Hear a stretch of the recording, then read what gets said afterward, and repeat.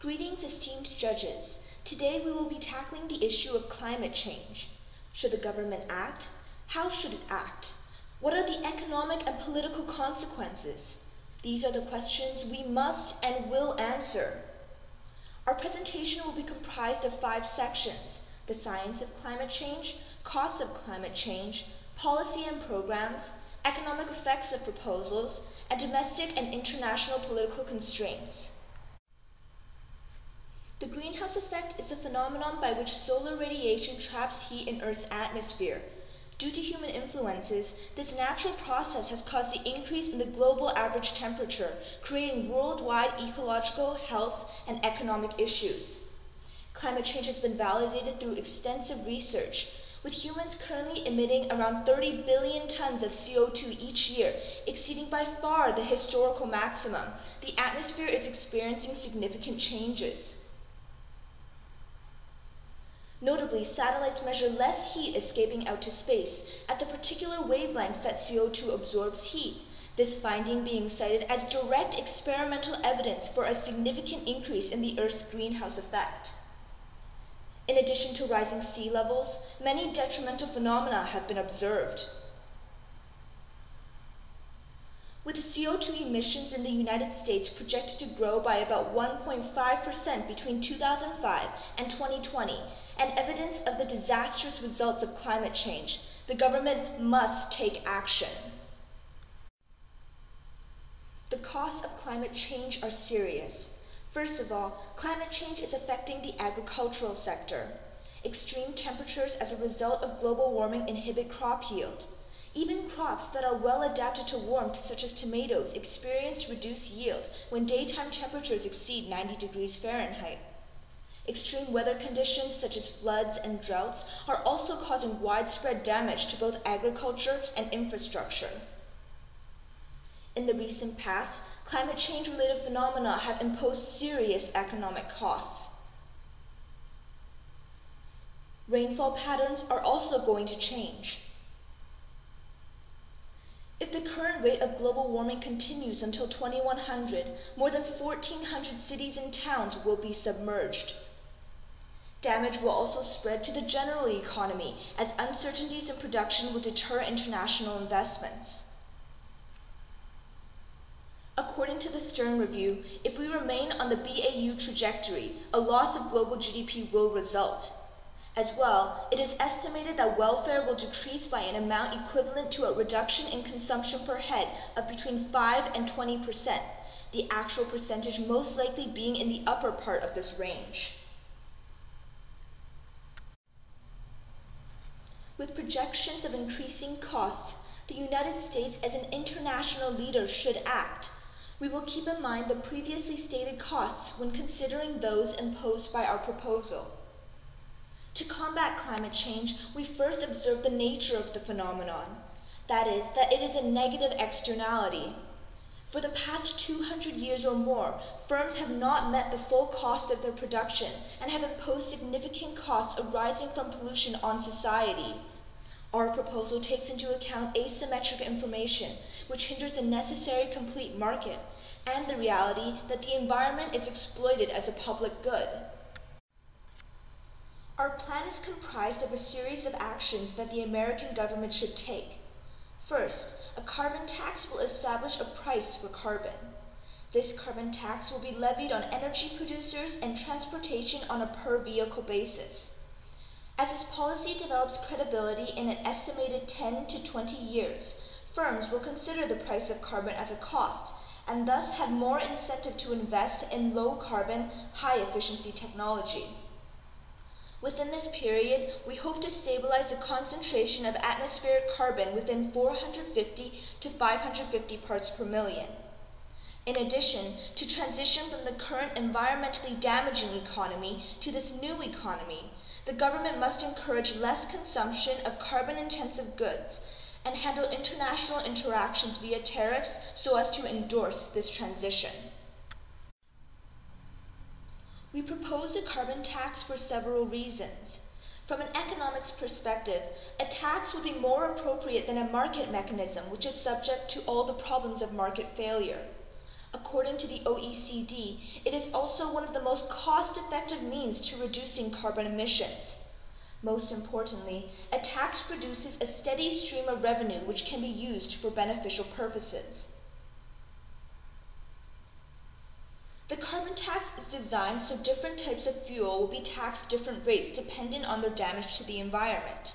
For example, coal is more harmful than natural gas per ton of CO2 emitted, and therefore will be taxed more heavily than natural gas. Similarly, cars will be taxed based on their efficiency levels, an extension of the existing gas guzzler tax. Specifically, we plan to raise the tax on high cylinder engine cars. According to data from the Stern Review, energy emissions account for 68% of greenhouse gases and power 24%.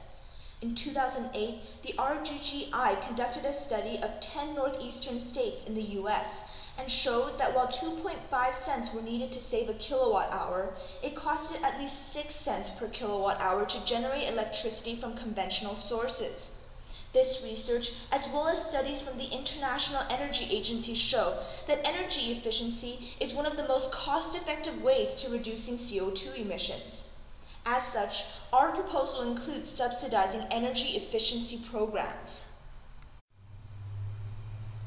With carbon taxes from other countries as models, we estimate a reasonable initial tax rate to be around $25 per ton of carbon emissions. The exact number will depend on the type of fossil fuel burned. Effective monitoring of the effect of the tax will also allow the U.S. government to adjust the rate as needed. We estimate this initial tax rate to be effective as it brings the cost difference between coal and nuclear power to a negligible level, indicating that a transition to more environmentally friendly energy alternatives is feasible. Of the $25 per ton of CO2, approximately $10 or 40% will be used to offset that ton of emissions. We propose that the rest of the revenue be divided evenly amongst alternative energy subsidies, research grants, and emergency aid to climate-related natural disasters. With approximately $50 billion in revenue from the carbon tax alone, nuclear power becomes more suitable. We predict the economy in the short term will transition to natural gas, and gradually alternative energy producers will take hold and higher efficiency technology will be developed, opening greener markets. It is also important to note that there is a high price to delay. As the social cost of carbon emissions is likely to rise, abatement efforts at the margin should also intensify. However, if technological development is effectively fostered, the average cost of abatement can be driven down. In addition, markets for low carbon energy products are likely to be worth at least $500 billion per year by 2050, thus opening many new business opportunities. To further evaluate our proposal, we note that first of all, as energy producers translate the tax into higher energy prices, consumers will experience higher living costs. This is especially concerning when we consider that low-income families tend to spend a larger percentage of their income on emission-intensive goods as found by a congressional office report. Hence, the poor would bear a heavier burden. This issue could be resolved following the example set by British Columbia, where a carbon tax has been successfully implemented by increasing the rate gradually to allow families and businesses time to reduce their emissions and by providing tax credits to low-income families. Due to the drop in demand for coal-intensive energy following the price increase, we predict workers would suffer from layoffs or wage cuts, and investors would sustain losses. Similarly, carbon-emitting energy producers may lose potential investors. Such events will be especially impactful in areas where carbon-emitting energy production, such as in coal plants, is a mainstay of the local economy. However, as companies experience reduced consumption, we believe they will have more incentive to invest in lower carbon, higher efficiency technologies. In Australia, for example, the carbon scheme prompted A.J. Bush and Sons to construct a new, more efficient biogas plant in 2013. Higher costs impact the international economy and alter trade relations. For example, in 2012, the US exported 118 metric tons of coal as the fourth largest exporter of coal in the world. This is only about 13% of the US annual output. If the US moves away from coal for electricity generation, this will likely increase American coal exports. China was a top coal importer in 2012, a title it is unlikely to lose in the short-term future. Supplying this vital strategic resource can potentially increase the power of the US in the relationship. However, it is also likely to lower the price of coal and make the polluting power source more available. Another important factor is whether other countries follow suit with similar policies. If countries such as China do not have a carbon tax, it will become even cheaper to produce goods there than in the US. On the other hand, with our proposed tariffs, we expect imports to decrease. This can lead to domestic industries gaining new opportunities against international industries, which could strengthen GDP. As well, we must bear in mind that the alternative energy producing industries and low carbon emission technology would be encouraged when the energy market is no longer overshadowed by the traditionally cheaper carbon emitting energy producers. Such industries would thus create new opportunities for workers and investors alike. As the lower industrial jobs are lost, so-called greener jobs are created that have the potential to increase the national average income and improve the standard of living. In the long run, the American government should also look into carbon market linking, which is likely to drive down the price of carbon. To conclude, we will look at three major obstacles that could arise from our proposed policy. 1. Domestic collection costs. 2. Non-compliance from both domestic and foreign corporations. And 3. Domestic political opposition. First, because the carbon tax is based on self-reporting of carbon emissions by energy producers, regulatory bodies must be established by the U.S. to ensure that companies are not hiding emissions. Existing regulatory infrastructures that measure the usage of natural gas, water, and other natural resources in the U.S. can be mimicked to create an efficient regulatory system. Developing the system, however, would come at an economic cost, and according to the David Suzuki Foundation, would also take time and be susceptible to lobbying and loopholes while being written. Second, the carbon tax may cause companies to export U.S. production operations. Because the carbon tax is not universal, both domestic and foreign companies in the US would accrue more production costs in the US than they would in countries without a carbon tax.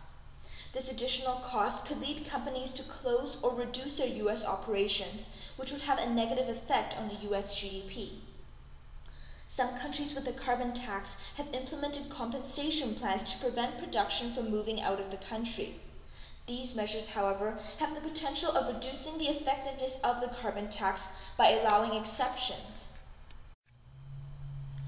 Third, the carbon tax will likely be a subject of domestic political opposition in the U.S.